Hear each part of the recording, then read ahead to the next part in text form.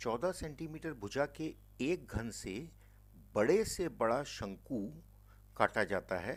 शंकु का आयतन ज्ञात कीजिए।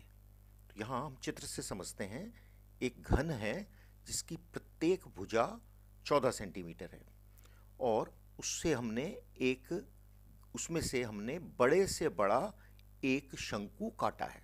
तो इस प्रकार से यदि हम काटते हैं तो जो शंकु का आधार है, वो कितना होगा?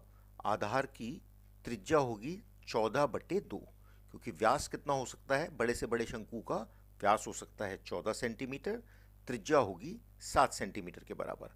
और बड़े से बड़े जो शंकु की ऊंचाई होगी एच वो होगी चौदह सेंटीमीटर के बराबर। तो यहाँ हम देखते हैं कि चौदह सेंटीमीटर वाले घन से, घन में से बड़े से बड़े शंकु के आधार की त्रिज्या आर चौदह बटे दो सेंटीमीटर अर्थात सात सेंटीमीटर के बराबर है। जैसा कि चित्र से स्पष्ट है, जो आधार होगा, वो बड़े से बड़े शंकु का आधार इस प्रकार से होगा कि उसका व्यास चौदह सेंटीमीटर है तो त्रिज्या हो गई चौदह बटे दो सेंटीमीटर अर्थात सात सेंटीमीटर। और बड़े से बड़े शंकु की ऊंचाई कितनी होगी? ऊंचाई होगी चौदह सेंटीमीटर के बराबर। इस प्रकार से शंकु जो बड़े से बड़ा होगा, उसकी ऊंचाई एच चौदह सेंटीमीटर के बराबर है। तो हमको आर ज्ञात हो गया। आर है सात सेंटीमीटर।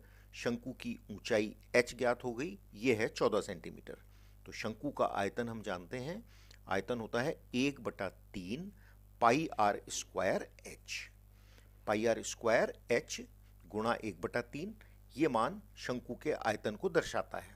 तो आर हमें ज्ञात है। पाई हम जानते हैं बाईस बटा सात होता है। एच हमें ज्ञात है चौदह। मान कितना हो जाएगा? आयतन हो गया एक बटा तीन गुणा बाईस बटा सात गुणा सात का स्क्वायर गुणा चौदह। कैलकुलेट करते हैं तो कैलकुलेशन से ये मान आता है सात सौ अट्ठारह दशमलव छः सात घन सेंटीमीटर। तो शंकु का आयतन, जो बड़े से बड़े शंकु का आयतन होगा, वो होगा सात सौ अट्ठारह पॉइंट छः सात घन सेंटीमीटर। शंकु के आधार की त्रिज्या और ऊंचाई क्रमशः सात सेंटीमीटर और चौबीस सेंटीमीटर है।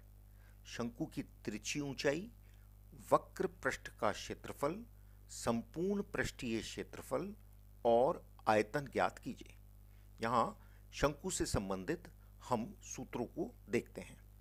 तो यदि एक शंकु इस प्रकार से है कि उसके आधार की त्रिज्या आर है, ऊंचाई एच है, तिरछी ऊंचाई एल है तो पृष्ठीय क्षेत्रफल होता है पाई आर एल।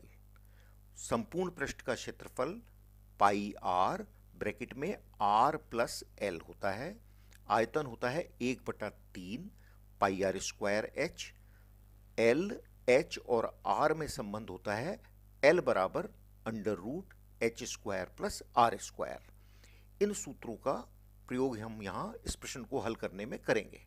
तो यहाँ हमें प्रश्न में क्या दे रखा है? शंकु के आधार की त्रिज्या बराबर है सात सेंटीमीटर। प्रश्नानुसार जो शंकु में शंकु के आधार की त्रिज्या है आर वो सात सेंटीमीटर हमें ज्ञात है और ऊंचाई हमें दे रखी है चौबीस सेंटीमीटर। तो एच का मान कितना हो गया? चौबीस सेंटीमीटर, शंकु की ऊंचाई चौबीस सेंटीमीटर है। तो हम एल अर्थात तिरछी ऊंचाई ज्ञात कर सकते हैं। हमने देखा सूत्र क्या है हमारा?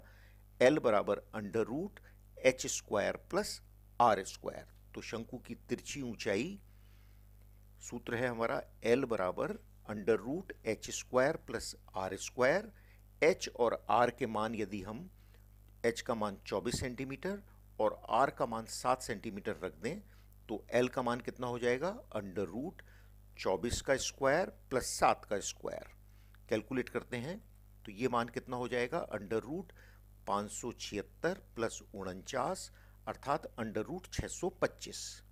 तो एल का मान हो गया पच्चीस सेंटीमीटर हमने तिरछी ऊंचाई ज्ञात कर ली तिरक ऊंचाई ज्ञात कर ली.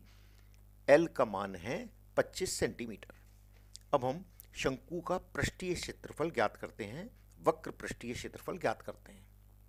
तो हम जानते हैं कि शंकु का वक्र पृष्ठीय क्षेत्रफल का सूत्र है पाई आर एल। पाई बाईस बटा सात।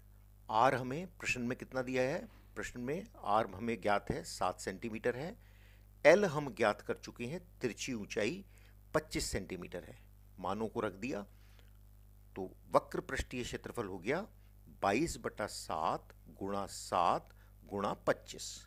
कैलकुलेट करते हैं तो ये मान आता है 550 वर्ग सेंटीमीटर। तो शंकु का वक्र पृष्ठीय क्षेत्रफल 550 वर्ग सेंटीमीटर के बराबर है। प्रश्न का अगला हिस्सा देखते हैं। हमें संपूर्ण पृष्ठीय क्षेत्रफल ज्ञात करना है। तो संपूर्ण पृष्ठीय क्षेत्रफल का सूत्र क्या है? संपूर्ण पृष्ठीय क्षेत्रफल शंकु का होता है पाई आर ब्रैकेट में आर प्लस एल। पाई बाईस बटा सात। आर हमारा क्या है? शंकु के आधार की त्रिज्या जो हमें क्या दी है? सात सेंटीमीटर।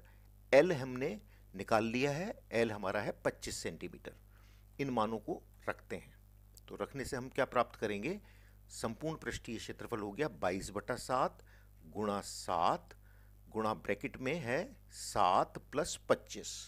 कैलकुलेट करने से सात से सात कैंसिल हो जाएगा, अर्थात मान हो गया बाईस गुणा सात प्लस पच्चीस, अर्थात बत्तीस। मान होता है बाईस गुणा बत्तीस, जो कैलकुलेट करने से आता है 704 वर्ग सेंटीमीटर। तो शंकु का संपूर्ण पृष्ठीय क्षेत्रफल 704 वर्ग सेंटीमीटर है। अब हमें अगला हिस्सा क्या है प्रश्न का?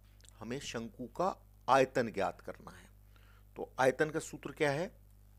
शंकु का आयतन होता है एक बटा तीन पाई आर स्क्वायर एच। एक बटा तीन pi R square H. R हमारा कितना है? आर हमारे प्रश्न में ज्ञात है सात सेंटीमीटर है। एच हमारा कितना है? शंकु की ऊंचाई चौबीस सेंटीमीटर। पाई हम जानते हैं बाईस बटा सात होता है। मानों को रख दिया।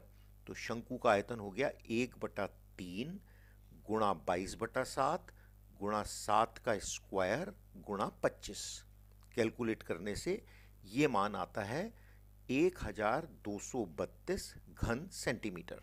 तो शंकु का आयतन एक हज़ार दो सौ बत्तीस घन सेंटीमीटर है।